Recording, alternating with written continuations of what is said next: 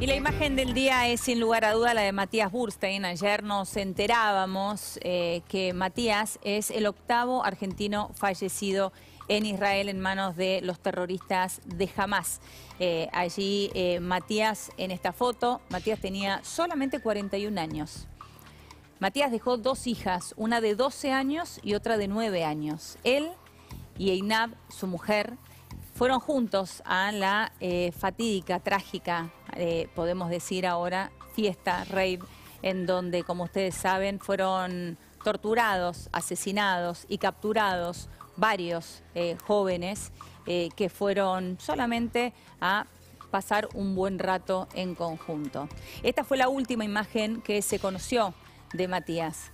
Esa, ahí está, Matías, alrededor de este este círculo rojo que estábamos viendo. Ayer te lo mostramos, ayer te contamos y creíamos que eso podía traer un hilito de esperanza sobre qué es lo que estaba sucediendo finalmente con Matías. Porque Fanny, su mamá, Fanny Burstein, habló con nosotros hace dos días, aquí con Paulino y conmigo, para contarnos su historia. Y en aquel momento no tenía ninguna noticia. Pero ayer por la tarde nos enteramos de la muerte de Matías porque Fanny amablemente en el medio de su congoja y su dolor después de haber sido, después de que le anunciaran la muerte de su hijo, nos escribió lo siguiente. Hola, Eleonora, soy Fanny Surpin Burstein, que ayer tuvimos la entrevista. Deseo y me siento en obligación de informarle a usted y a Paulino Rodríguez que mañana nos despediremos de nuestro adorado hijo Matías Burstein, el que fue asesinado a sangre fría por el Hamas y con una pequeña esperanza de recuperar a nuestra nuera, que aún no tenemos noticia alguna. Gracias nuevamente por haberse interesado de contar nuestra historia, la cual lamentablemente tuvo un cruel final. Fanny se hizo un momento, Fanny se hizo un espacio.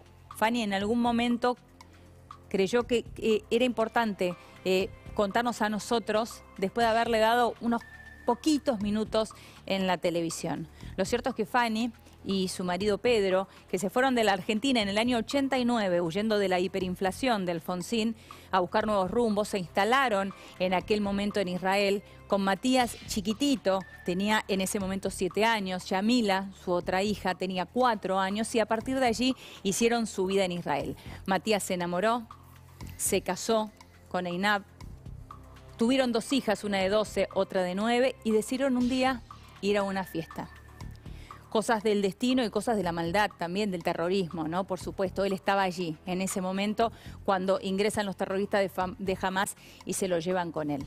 Ahora estas dos hijas no tienen a su padre y todavía están esperanzadas pensando en su madre. ¿Qué habrá pasado con su madre? De ella todavía no hay novedades. Fanny también tuvo un cruce en el Zoom que mantuvo con el presidente Alberto Fernández en ese momento, ante la desesperación de no tener ningún tipo de noticia, esto fue previo a conocer la muerte de su hijo, habló con Alberto Fernández y le reclamó por mayor accionar. Vean lo que decía. No tenemos, nosotros en la franja de Gaza, Argentina no tiene ningún contacto. Nada, no tenemos ninguna representación diplomática, no tenemos nada.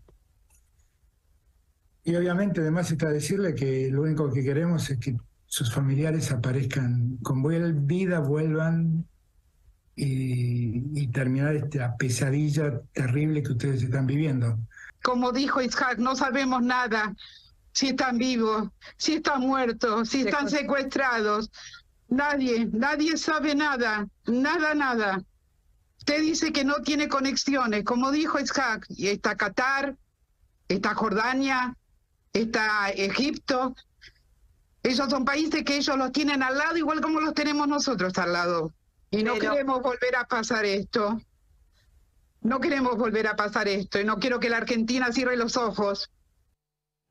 Abran los ojos, eso es lo que estaba pidiendo Fanny en ese momento y se lo pedía cara a cara, directamente eh, al presidente. Eh, hace dos días, antes de enterarse de la peor noticia de su vida, sin lugar a duda, la muerte de su hijo Matías. Hablaba con nosotros unos minutos y nos decía esto. Matías, ¿cuántos hijos tiene? Dos hijas. Dos hijas. Una de 12 y una de 9. ¿Cómo están ellas? En este momento se encuentran eh, superando lentamente Yo hoy las vi, están en el kibutz, en el norte, en el norte centro del país con la otra abuela, con la abuela de, de parte de Enab. Hoy las vi porque no podía, era muy fuerte verlas. Y, este, en un momento dado, mi hija, mi nieta menor, le dice a mi hija, tía, ¿sabes? Ya me estoy olvidando del colegio de acá y me estoy olvidando de mis papás. Fue tremendo. Mi hija le dijo, no, no, no, vos no te vas a olvidar de tus papás. Papás, vas a ver, vas a, vas a los vas a ver, vamos a encontrar. Trató de levantarle el ánimo, por supuesto. Claro. Una nena de nueve años. Y Tremendo. hace 11 días que no los ve. Lo que pasa es que es una nena que era muy pegada a su papá, muy parecida a su papá en el carácter, en todo.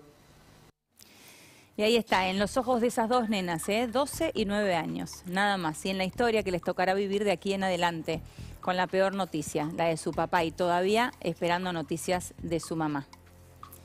La historia detrás del horror de la guerra. En este contexto, la Organización de las Naciones Unidas le ha pedido a Hamas liberar a rehenes y a Israel permitir la ayuda humanitaria. Lo ha hecho Antonio Guterres, el secretario general de las Naciones Unidas.